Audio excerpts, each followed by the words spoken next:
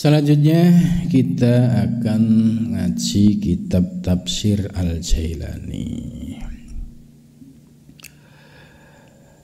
Malam ini akan membahas surat At-Taubah ayat 72. 72 73. Sebenarnya ayat 71, 72, 73 itu masih satu rangkaian أعوذ بالله من الشيطان الرجيم. بسم الله الرحمن الرحيم. وعد الله المؤمنين والمؤمنات جنات تجري من تحتها الأنهار خالدين فيها خالدين فيها ومساكن طيبة في جنة أدن. ورضوان من الله أكبر. ذلك ذلك هو الفوز العظيم. يا أيها النبي جاهد الكفار والمنافقين واخلد عليهم ومأواهم جهنم وبئس المصير. Ayat ini masih terkait ayat sebelumnya yang berbunyi wal mu'minuna wal mu'minat ya. Jadi ini ada kes ya persamaan antara laki-laki dan perempuan disebut secara berbarengan. Wal mu'minun mukmin laki-laki. Mukminat ya mukmin perempuan ya jamak mudakar salim sama jamak mu'al salim ya egaliter, equality ya, ada persamaan hak di hadapan Allah. Mukmin laki-laki dan mukmin perempuan, ba'dhum auliya'u Sebagian mereka ini menjadi partner sebagian yang lain, ya. Jadi aulia ubat ini uh, kita bahasakan partner. Atau kalau bahasa yang modern itu ya kita bisa bersinergi antara mukmin satu dengan mukmin yang lainnya. Sebab antara mukmin yang satu dan yang lainnya itu memiliki kelebihan dan kekurangan. Nah, kalau saling memahami ini bahwa kelebihan saya ini, kelebihan yang lain ini, kalau bersinergi, maka akan menjadi sebuah kekuatan. Ada orang yang diberikan kelebihan ilmu oleh Allah tapi secara ekonomi pas-pasan. Tapi ada juga yang diberikan kelebihan rezeki oleh Allah, tapi ilmunya tidak ada. Begitu juga ada yang ilmu tidak, rezeki tidak. Nah, ini semua kalau bersinergi dengan baik, ya ada yang menjadi pimpinan, ada yang dipimpin, ya insya Allah akan menjadi kekuatan. Ya kekuatan di dalam beramar ma'ruf nahi mungkar. Ya muruna mereka menyuruh bil ma'ruf dengan kebaikan. Wayan hauna dan mereka mencegah anil mungkari dari kemungkaran. Jadi amar ma'ruf nahi mungkar bil ma'ruf. Jadi amar ma'ruf ya bil ma'ruf nyuruh orang ya harus dengan pendekatan yang baik Begitu juga mencegah kemungkaran juga bil ma'ruf dengan cara yang baik. Ya, sebab kalau kita salah cara bukannya target amar ma'ruf itu tercapai justru akan mendapatkan perlawanan. Itu. Maka amar ma'ruf bil ma'ruf, nahi mungkar bil ma'ruf ini ya sebagai sebuah metode dakwah yang relevan di zaman sekarang. Jadi ngajak orang ya itu nggak usah tiba-tiba langsung diceramain, diancem-ancem kalau nggak begini mau masuk neraka gitu. Nah, ini ya akan sulit diterima oleh orang-orang yang ya masih keras hatinya. Tapi para sufi itu berhasil menundukkan orang-orang yang keras hatinya karena menggunakan pendekatan pendekatan humanis ya didekatin ya dikasih apa diajak dialog, diajak ngobrol ya. Kemudian akhirnya muncul sikap untuk berubah ya dan ini sudah dicontohkan oleh Wali Songo ya ketika dakwah di Pulau Jawa.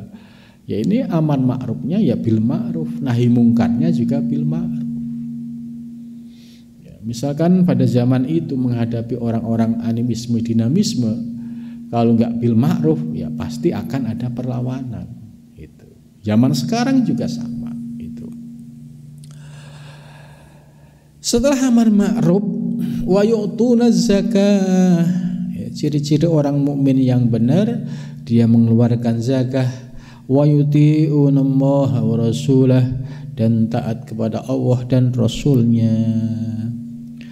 Ulaika sayarhamuhum maka orang-orang yang demikian itu akan mendapatkan kasih sayang dari Allah Subhanahu wa taala. Jadi kalau ingin mendapatkan kasih sayang ya tadi bersinergi untuk amar ma'ruf nahi mungkar dan juga bersinergi yuktuna zakah yaitu ya membangun sebuah uh, baitul mal di mana Baitul Mal ini bisa difungsikan untuk kemaslahatan umat. Itu. Innallaha azizun hakim. Ya, Allah menyatakan siapa sesungguhnya Allah azizun itu maha menang ay ghalibun qadirun hakimun dan bijaksana. Kemudian dilanjut dengan Wa'adallahul mu'minina wal mu'minati jannatin tajri min tahtihal anhar. Wa'ada. Ya berjanji siapa Allahu Allah? Al mu'minina kepada mukmin laki-laki. Wal mu'minati dan mukmin perempuan. Apa yang dijanjikan oleh Allah? Jannatin. Ya jannatin yaitu surga. Tajri mengalir mintah tiha dari bawahnya surga al-anhar yaitu sungai-sungai. Jadi gambaran surga yang ada di alam di dalam Al-Qur'an itu sangat indah sekali yaitu tajri mintah tihal anhar. Ya, bisa membayangkan ya, sebuah keindahan eh, di pegunungan ya melihat air jernih mengalir eh, ini diibaratkan gambaran surga yang sangat indah khalidina fiha kekal selama-lamanya di dalamnya. Nah, sekarang eh, apa penafsiran sufistik dari Syekh Abdul Qadir Al-Jailani terhadap ayat tersebut? Ya, kalau secara umum diterjemahkan bahwa Allah berjanji kepada mukmin laki-laki dan mukmin perempuan yaitu surga yang mengalir di bawahnya sungai-sungai. Nah, Syekh Abdul Qadir Al-Jailani memiliki penafsiran yang lebih mendalam. Jannatin yaitu surga surga bermakna yang lebih luas ya. Surga ada yang maknawi yaitu surga ma'rifah surga ada yang hisi yaitu surga yang benar-benar ada di alam akhirat ya memahami surga yang bermakna maknawi tadi yaitu kemakrifahan. Ini oleh Syekh Abdul Qadir Al-Jailani ternyata proses untuk mencapai surga yang bermakna maknawi tadi yang e, berupa limpahan kemakrifahan ternyata untuk sampai pada tahapan surga itu prosesnya panjang. Jadi kita ini sebagai umat Islam ya untuk mencapai surga itu kan harus tadi taat, takwa ya. Kemudian menjauhi segala larangannya. Nah, untuk mencapai surga ma'rifah itu ternyata juga bertahap. Minal ilmi mulai dari ilmu yakin. Kita belajar ilmu tauhid, kita belajar ilmu hakikat, belajar ilmu tasawuf. Supaya kita paham konstruksi ilmu. Setelah kita paham konstruksi ilmu, kemudian pelan-pelan kita amalkan.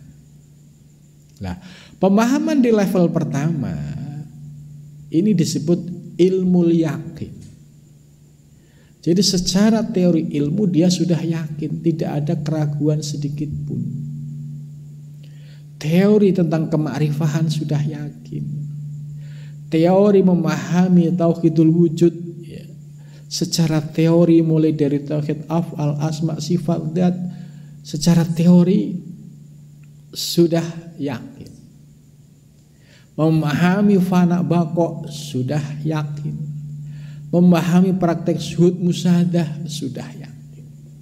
Secara ilmu kemudian berproses dari ilmu yang sudah dipahami ya dinaikkan kualitasnya untuk diamalkan untuk diamalkan dan dirasakan contoh ya terkait dengan tauhidul wujud ya paham mulai dari tauhidul afal tauhidul asma tauhidul sifat tauhid secara teori paham kemudian pelan-pelan diamalkan. Ya, melihat ke dalam diri, keluar diri. Ya, secara bertahap terus diamalkan. Maka ketika kita mengamalkan itu dari ilmu yakin, kemudian kita bisa merasakan, maka masuklah pada level ainul yakin. Oh, ternyata memahami tauhidul af'al seperti ini, tauhidul asma seperti ini, tauhidul sifat seperti ini, tauhidul dat seperti ini. Memahami bakok begini, fana begini gitu. Oh, merasakan pentingnya zikir yang istiqomah ya, dia merasakan asarnya Riyadhuh mujahadah dia juga merasakan asarnya. Nah, ini masuklah pada tahap kedua yang disebut dengan ilmu yakin. Kemudian dari ilmu yakin ini ya minal ilmi wal aini minal ilmi dari ilmu yakin kemudian naik wal aini ainul yakin ya. Kemudian setelah itu kita terus amalkan. Sampai keyakinan kita tahkik. Oh iya, bahwa keyakinan kita tentang tauhid wujud itu sudah lasak kafir, tidak ada keraguan sedikit pun. Memahami tentang hakikat wujud itu sudah tahkik, sudah tidak ada keraguan lagi. Maka kalau sudah sampai pada tahapan sudah tidak ada keraguan lagi, maka ini sudah masuk pada tahapan hakul yakin. Jadi keyakinannya sudah tahkik. Tahkik dengan tauhid afal, tahkik dengan tauhidul asma, tahkik dengan tauhidul sifat, tahkik dengan tauhid. Tahkik dengan suhud musahadah. Gitu. Tahkik. Nah ini baru masuk hakul yakin. Lah, kalau sudah sampai pada hakul yakin, maka akan mendapatkan surga yang disebut surga yaitu surga ma'rifah. Ini dalam penafsiran memahami kata jannah. Nah, ini yang disebut tadi jannah yang bermakna maknawi yaitu surga kema'rifah. Ya. Sedangkan surga yang hisi ya nanti bisa dirasakan setelah yaumul hisab prosesnya masih panjang gitu. Tapi Al-Qur'an menggambarkan ya, yaitu tajir min tahtihal anhar. Itu kan penggambaran yang sangat indah. Kalau orang-orang yang di Arab ya, yang di gurun pasir menggambarkan ada sebuah lokasi atau wilayah di situ ada air yang mengalir tentu itu akan menjadi satu keindahan. Itu jadi penggambaran soal ilustrasi surga yang sangat indah.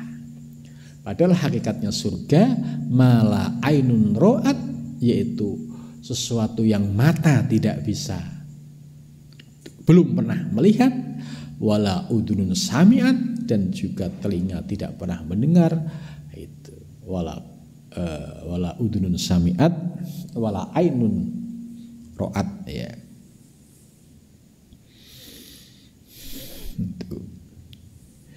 Jadi penafsirannya lebih kepada sufistik gitu. Dan ini bagi para salik menurut saya ini lebih mencerahkan, memberikan semangat ya tentang tahapan kita dalam menuju Allah Subhanahu wa taala. Tajri min tahtiyal anhar yang gambaran secara fisik tadi itu menggambarkan tempat yang sangat indah itu. Maka kalau kita uh, ketemu, orang Arab ya diajak ke uh, daerah Sunda, daerah pegunungan. Lihat gemericiknya air, lihat ya eh, sungai-sungai uh, yang indah itu. Itu pasti bilang jannah, jannah surga, surga. Gitu.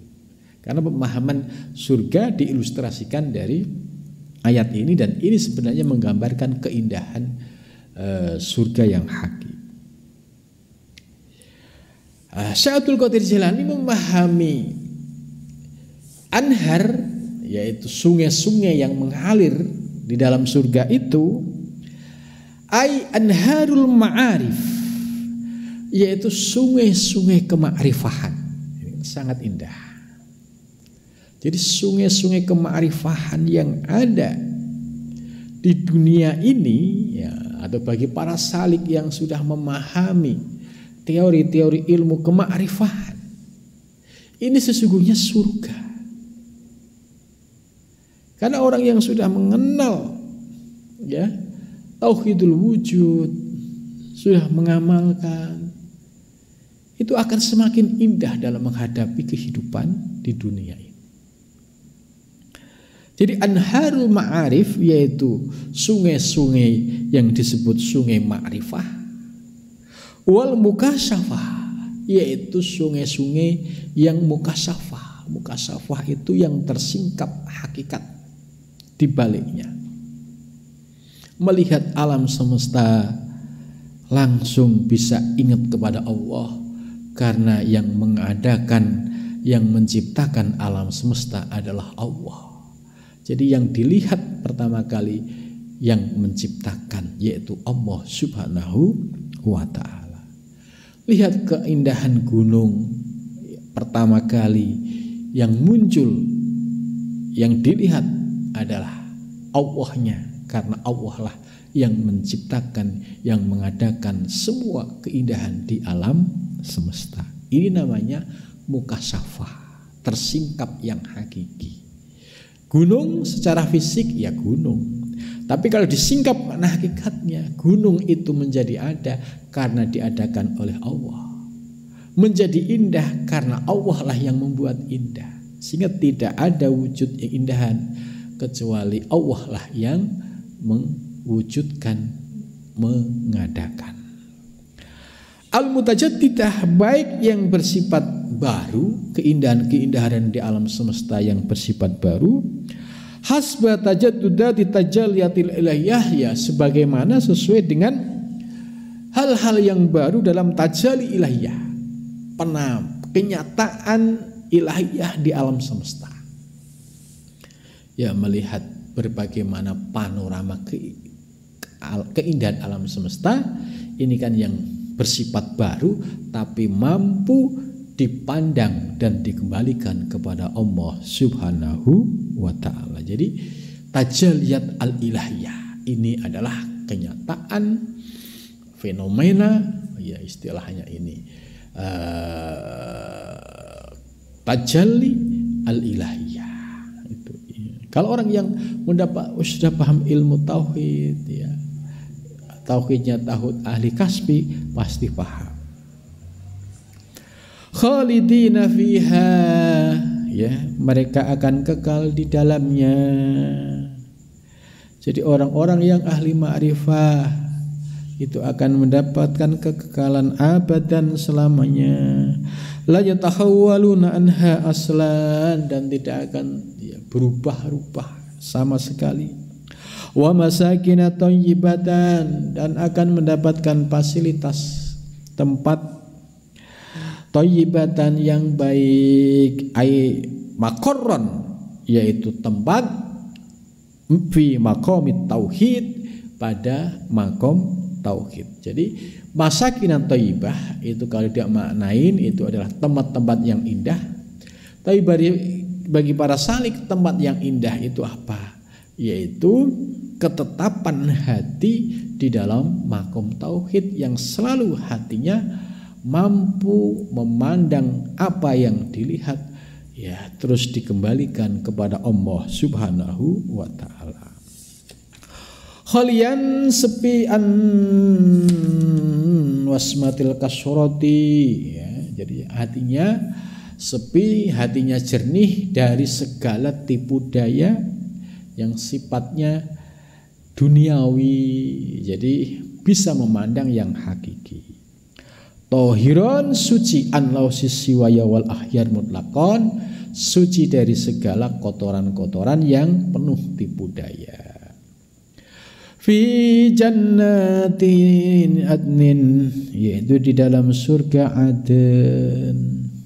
Waridwanun dan mendapatkan ridho ya wa dan diterima minallahi dari Allah. Al mustawi alal adli al qawim bi haitsu la yaskutu lahum aslan litahaqquhim bi maqami tahallub bi ahlakihi.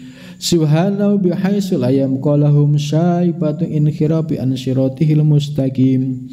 Alladhi huwa siratullahil aqwam al a'dal akbar min jami'i ma dzukira min qablu min darajatil aliyah dzalika wal fawzul adzim jadi para salik tadi yang mendapatkan fasilitas surga kema'rifahan, kemudian mendapatkan masakin atau ibah, yaitu tempat tinggal yang sangat baik, ya.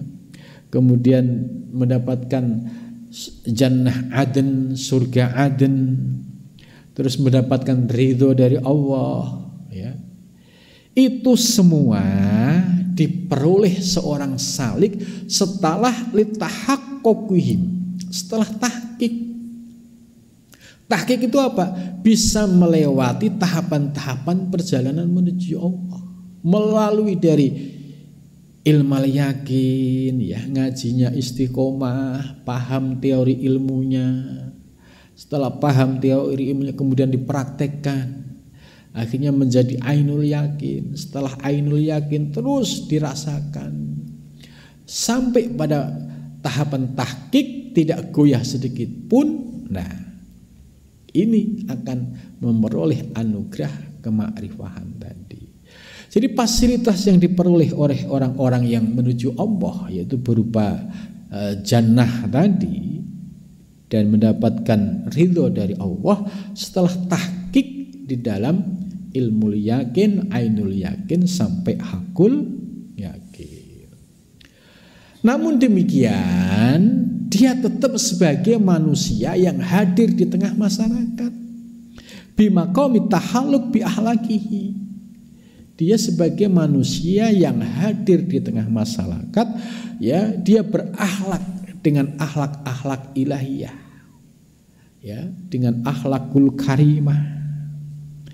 Sehingga di dalam praktek kehidupan sehari-hari ya tidak ada inhiraf tidak ada penyimpangan. Ya. Tidak ada ngaku salik kok nggak sholat ngaku salik ya, kok mengabaikan ibadah yang fardu. Nah, ini nggak ada inhiraf. Atau berlebih-lebihan ya, ngaku salik tapi nggak eh, amar ma'ruf nahi munkar.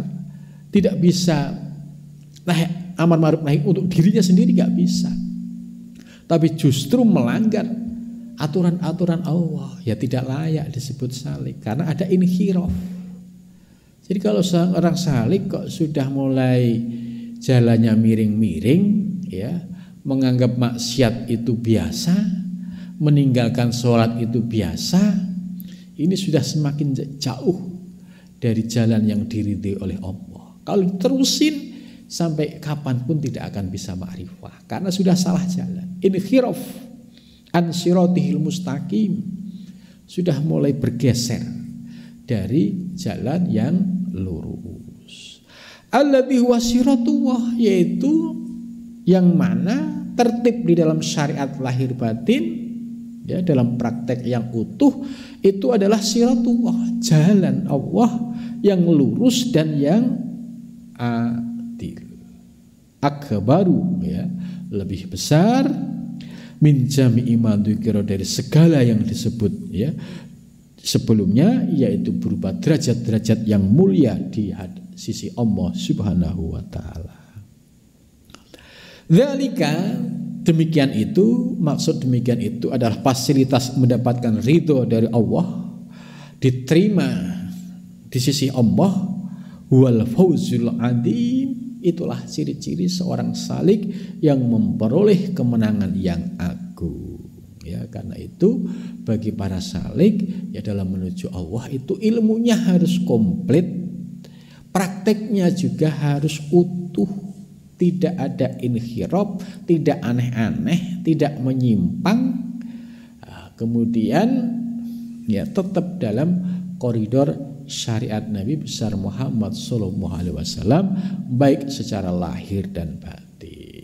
Ya, ini yang disebut wal fauzul adim ya dia memperoleh kemenangan yang sangat agung.